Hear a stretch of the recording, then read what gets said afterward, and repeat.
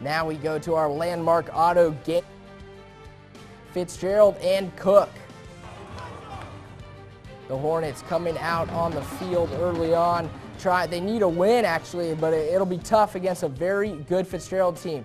Cook QB Connor Hilliard attempts the pass, but it is, it is bobbled and intercepted. First of many mistakes for Cook in the first quarter.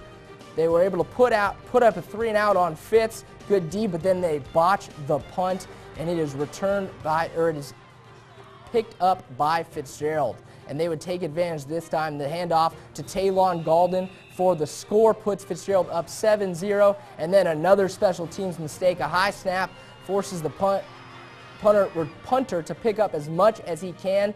And great field position once again. Uh, Fitz takes it, Fitzgerald takes advantage. Romarius Galden takes it for the score up 14-0.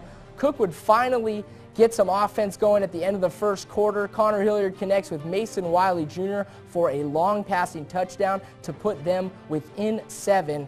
They are down 14-7 at that point, uh, but they would not be able to close the gap totally. Fitzgerald would win 28 to 13. Fox 31's Matt Pritchard was out at Cook High Memorial Stadium tonight to soak in the action. Matt, how was it out there tonight?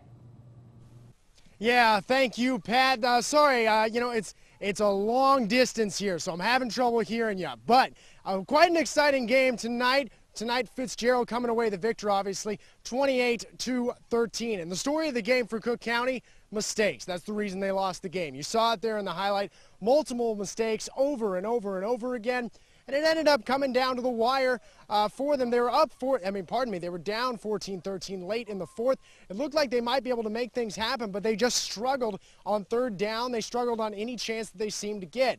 So a tough loss for this Cook County team tonight to Fitzgerald, who also really didn't look that dominating. We were used to seeing Fitzgerald just run over teams this season. Tonight, they sort of just took advantage of Cook County's mistakes and they made it count, winning the game tonight again 28 to 13. Let's send it back to Pat and Jon in the studio with more highlights tonight on the Blitz. It was Fitzgerald and Cook. Some some very tough choices for next week. Valdosta at Lowndes, always, always a classic. And then a couple region games uh, here locally. Crisp County will come into Westover, who's suddenly the favorites in 4A Region 1. Cairo will travel to Worth County, try to try to get back on the winning track. And Brooks County and Fitzgerald, also a good one.